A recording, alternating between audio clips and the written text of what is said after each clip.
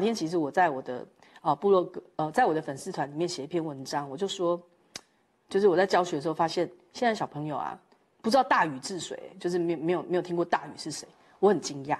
好，其实我觉得很多人误误会了我的意思，我并没有觉得课本一定要教大禹治水，我只是很惊讶的是说，这样的一个故事，在我小的时候，它是所有民间或者神话故事里面都可以看得到的。或者是嫦娥奔月这样的故事，就是以前，因为我们现在还过中秋节嘛，对不对？那既然过中秋节的话，那这些传说故事等等，应该是很容易看得到或听得到，或者在电视里看得到的。结果呢，有一半的小学生，哦，四五六年级不知道嫦娥奔月，然后一全班国中生只有一个小孩子听过大禹治水，我就会对我来讲是蛮意外的。只是我认为，就是说，在现在这个时代里面，是不是应该还是要鼓励孩子大量的阅读？好，那么就。不管是文学的，或者是科学的，或者是数学的，只要他有兴趣的东西，他应该要往那个方向好，或者是他可以家长给他一些帮忙，或者是学校给他一些帮忙，他能够有机会大量的阅读，增广他自己那个方面的尝试，而不只是在学校里面的课业，就只是读一些破碎的历史，或者是破碎的地理，或者是破碎的国文。好，数学我不知道，我不专精啦。好但是我觉得好像所谓的很多的呃这个教学上面来讲，他说都是一个很破碎的形式，以至于所谓的尝试到底是什么，其实很难去断定。就是你每个东西都有一点点，但是每个东西可能都不是你喜欢的。那么这样的尝试，对于现在的孩子来讲，是不是需要去做一些改变，或者是我们是不是要尊重孩子自由阅读，或者是提供他大量阅读的方向？而不是让他浪费好多时间，去呃沉溺在某些游戏里面，因为你知道游戏有些当然它不是不好，但是它可能加了很多因素，让他能会一直沉溺在里面，或者是他花太多的时间看影片啦等等，以至于他失去了他能够大量获取一些他需要的知识的方向。我觉得这个是对我我的我的思考是觉得这是蛮可惜的。好，那回过头来，所以呃。当年我是这样子的，哦，非常饥渴的去读书，非常饥渴的去找我喜欢看的东西。那后来其实我也慢慢发现，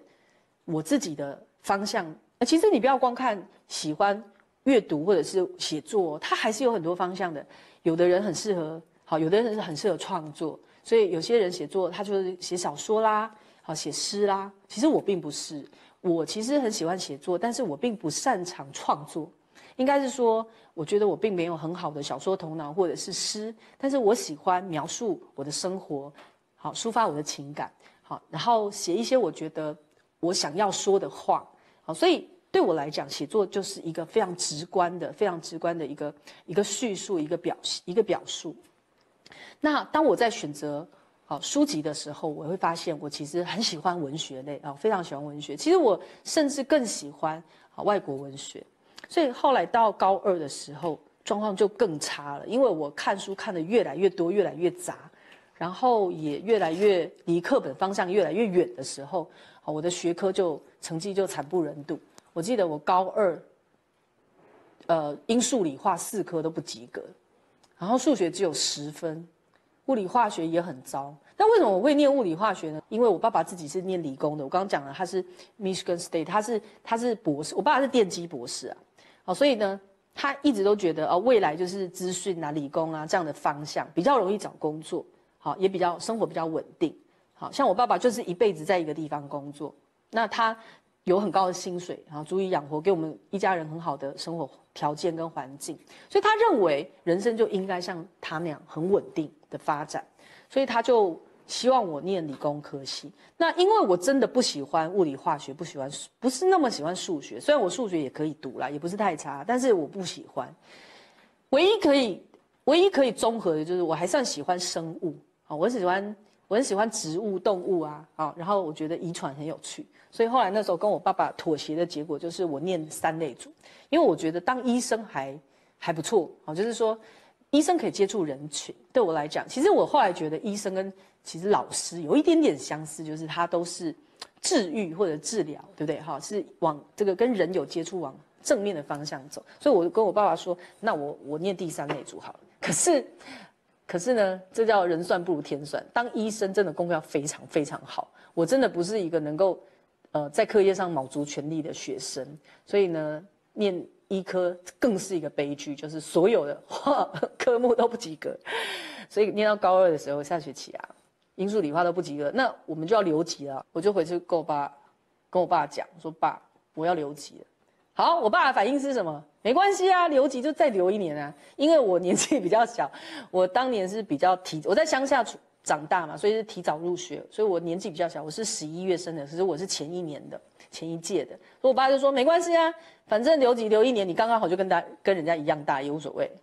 可是你想想看，在一个高中女生的这个心里面，要留级是多么丢脸的一件事情，对不对？所以我就不愿意。好，那个时候呢，正在彷徨的时候。我记得我高中啊，为了这种事情啊，每次为了考试啊、成绩啊，跟我爸爸吵闹哦，真的是很可怕。那个、那个当年的那种斗、那种跟父亲的对抗跟抗争，真的是惨烈到不行。我记得我念我考上中山女中，刚刚讲了，父母很失望的那一年。我爸爸本来他是坚持叫我不要念中山女中，他要我去念五专，所以他要我念台北商专。那我有考取台北商专。所以当年就为了念台北商专还是念中山女中这件事情，我跟我爸爸起了非常剧烈的争吵。我记得啊，那一次我在外婆家跟我爸爸吵架，我父亲就是把我这样拽着，然后五楼拖到一楼，然后把我塞进汽车的那个前座、副座里面，因为我不肯回家，所以我就跟我爸吵架，我就说我不回去。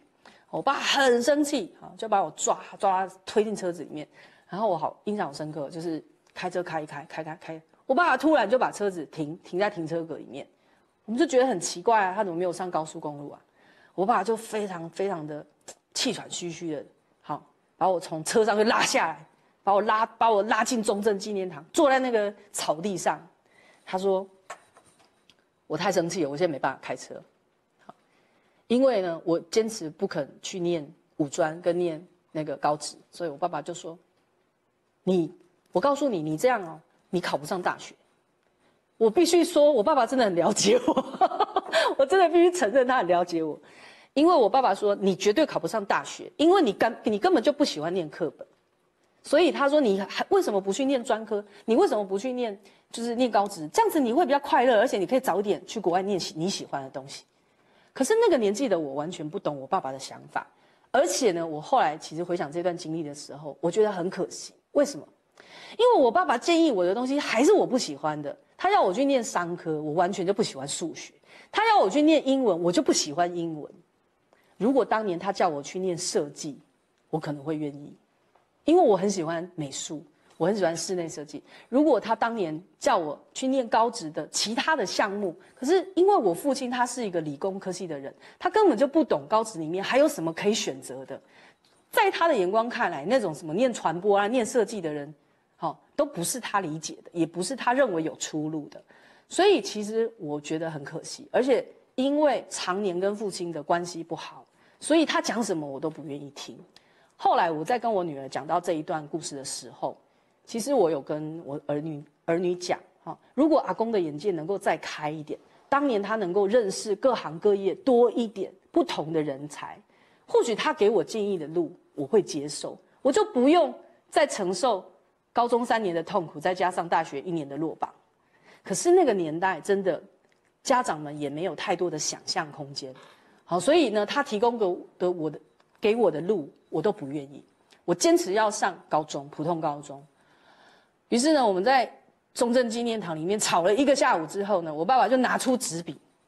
好，拿出印泥，说：“那你写保证书给我，保证你会考上大学，还叫我按按拇指印。”后来呢，真的，我们就在那个草坪旁边，好写了那个保证书之后，盖了大拇指印，然后我爸爸才心平气和的把我载回家。后来我就因为这样上了中山女中，那一次的争斗啊，真的是印象好深刻。好，我后来想想，从那个时候开始，其实就是我就开始完全没有照我爸爸给我设定的那条路走。从国三到选择高中开始，我就不听他的话，应该说。翅膀硬了，好，因为呢，我自己住在外面，他也管不到我。那，哎，这边顺便跟大家讲一下，其实我我觉得在教育的路途上，其实我觉得独立这件事情也是很重要的。为什么我觉得我能够跟我父亲抗衡？好，我们家哈只有我是这样子哦，我弟弟妹妹都超听他的话的。所以呢，我们家我弟弟念的是生化，我妹妹念的是资讯，完全符合老爸的要求。但事实上，我弟弟历史比较好，我弟弟文笔也非常好。他的历史啊，他最喜欢历史，但是我爸爸绝对不可能让他去念历史，但是他也绝对不会反抗。然后我妹妹也没有反抗，他们两个都非常乖，非常听话。所以我后来在想啊，我爸爸现在年纪大了，好，他最最担心我弟弟妹妹啊。他最对我最不满意啊，因为我最不听话啊。可是为什么我那个时候能够有这么大的能量去抵抗我生命中的巨人？我印象好深刻，事隔多年，我还都还记得老师讲话的神情。好，所以我是我我觉得我要跟大家分享的很重要一件事情，就是我觉得我之所以能够跟我父亲每次有这么大能量的抗衡，是因为我被他训练出来很独立。就是我小学六年级就被父母丢到台北。自己生活，所以我非常的独立。我一个人出去吃饭，我一个人出去剪头发，我一个人上街买东西，我自己去邮局，自己去银行。我从小学六年级开始，我就住在舅舅家。但是舅舅因为舅妈他们没有小孩，所以他们其实也不太管我。好，那父母远在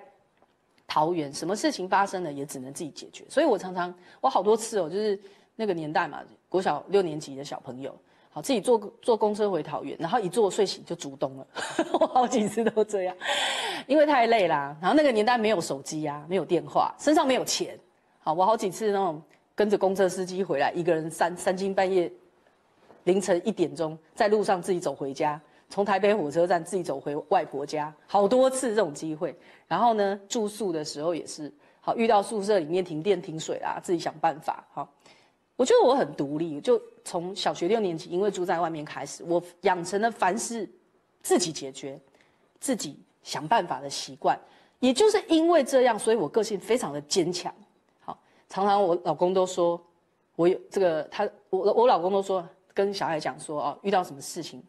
好，你不用担心你妈啦，你妈妈有一颗非常强大的意志力。我觉得我是被锻炼出来的，因为在这样的一个成长环境当中，我必须要去自己解决自己面对的问题。好，以至于养成了我真的我有强大的心智。